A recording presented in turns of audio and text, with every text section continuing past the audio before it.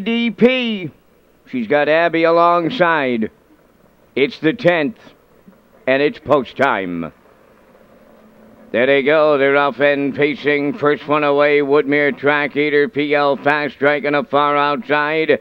Mr. Pogey then to the turn. Up the inside fourth, that is Sterling Seelster. Coming up fifth on the outside, Mark Vegas. Now six, you missed a good thing. And the trailer, CL LaRue. So they move to the opening quarter. Woodmere Track Eater for Kenny Murphy's on top. Second at the rail. On the inside, Mr. Pogey Sterling Seelster was fourth, then third, now second, and about to be the leader in the blink of an eye.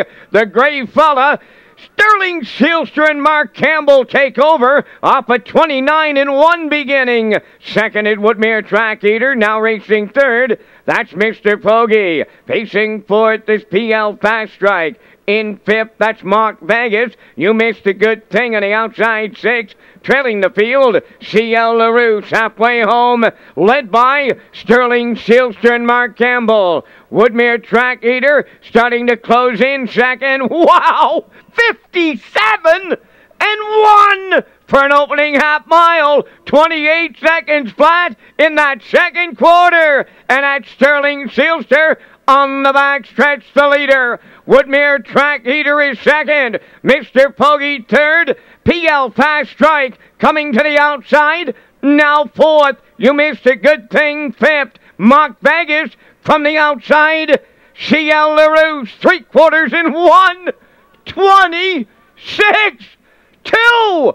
Eighth of a mile left to go, and the bottom claimer at Charlottetown. That is Sterling Seelster homeward bound. PL Fast Strike second. Woodmere Track Eater third. Sterling Seelster and Mark Campbell. Mighty, mighty serious tonight. Second is PL Fast Strike. Mr. Pogey third. One. 56. Two. Wow!